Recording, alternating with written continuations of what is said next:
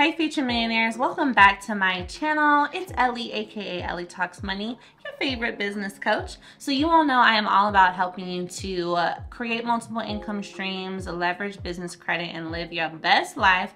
And within that, I wanna make sure you guys are able to be as productive as possible, okay?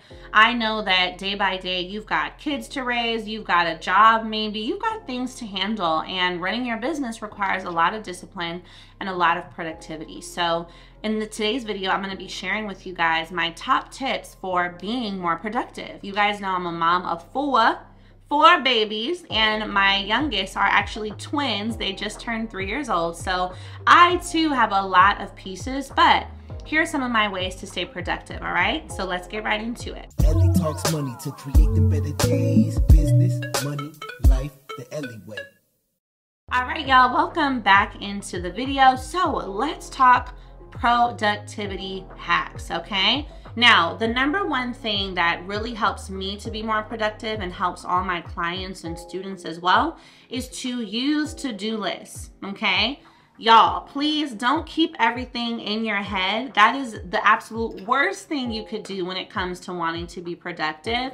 The more you can actually let out on paper, the better, okay? So to-do lists can be everything that is priority for you in that day. I would say your top five things put on the list for that day.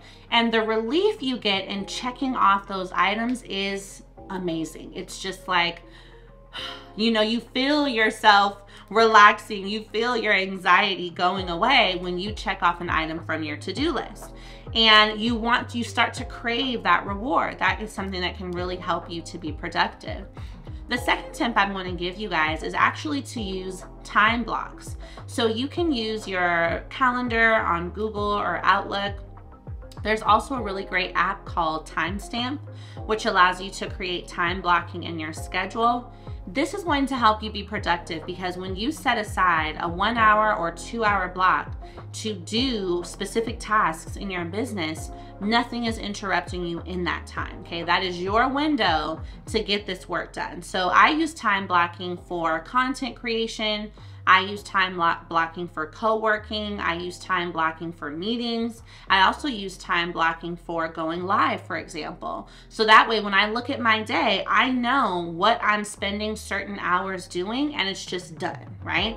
Let your calendar make the decision for you. When you know it's on your calendar, it's much less easier to break that arrangement because it's already scheduled time that has been allotted for, okay? So that's a really great way to hold yourself accountable and to practice and have the discipline to do certain things at certain times. For me, I know my best content creation typically happens in the morning and my best lives as well typically happen in the morning. So I'm gonna make sure I set aside time to get that done and then the rest of the day is used towards other activities, okay? My third tip for being more productive would definitely be to enlist help where you can, okay? Now, I want you to realize that starting your business, scaling your business, you do not have to do everything by yourself. Delegation is the name of the game. So I want you to comment delegate below, okay? Delegation can be the name of the game. And even if it is just you getting help from a friend, a colleague, or hiring someone on fiverr.com or onlinejobs.ph, okay? This is where you can hire a virtual assistant um, to do certain tasks for you for 10 hours a week Usually you can pay that person $10 an hour or $250 for the month if you use onlinejobs.ph. Now, those are going to be people working in the Philippines, but I've had nothing but positive experiences there using that platform, so it can be a great option.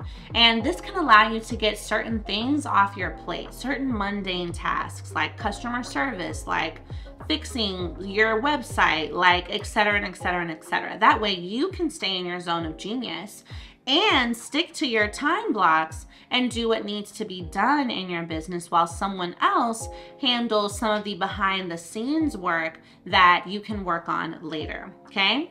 My fourth tip for helping you all to be productive in your business as well as in your life is to set your intentions every Sunday for the week you want to have.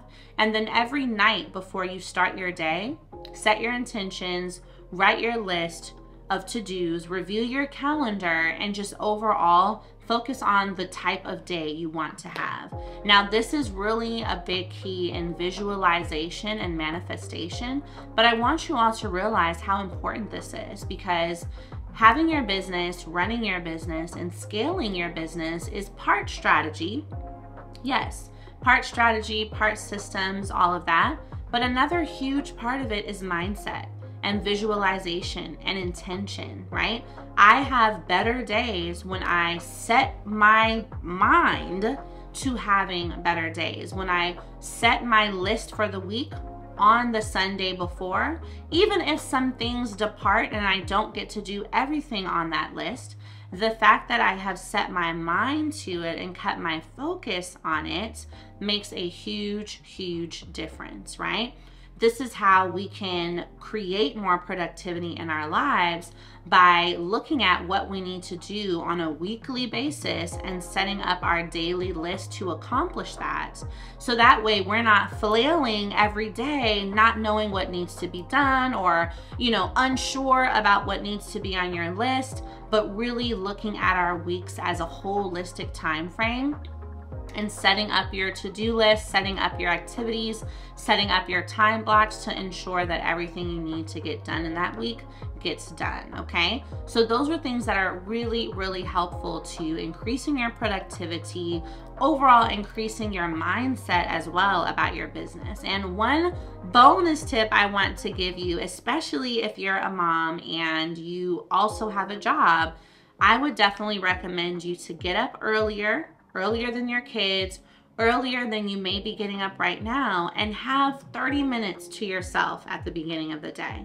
So even if that 30 minutes is spent with you reading, sitting, meditating, or just drinking a nice cup of tea or coffee, that alone time and allowing yourself to lock in and zone in, review your calendar, review your to do list for the day, it can really change the entire outlook of that day and of that week.